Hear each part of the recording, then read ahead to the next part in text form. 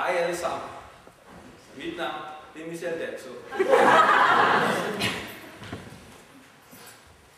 I er med i mit nye talkshow. De voksnes verden.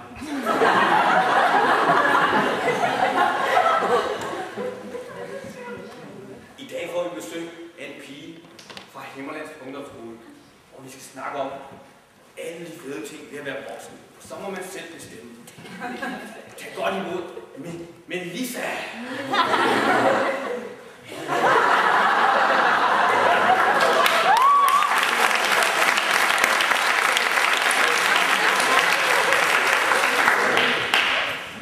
Hvordan er du kommet hertil, Melissa?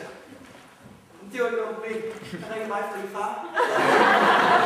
Jeg var godt på forretningsrejse i Kinesien, men det var ikke noget problem. Jeg kom bare hjem. Ej, skulle du selv ringe? Gjorde din mor ikke engang det for dig? Det var mega dyrt at ringe til Kina. Oh my god, jeg betaler sgu ikke min mobilregning selv. Ej, hvor sjovt. Det gør jeg heller ikke. Det gør kommunen.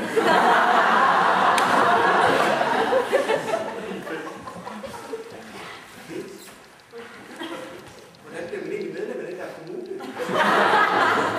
Det sker helt automatisk, når man bliver 18 år.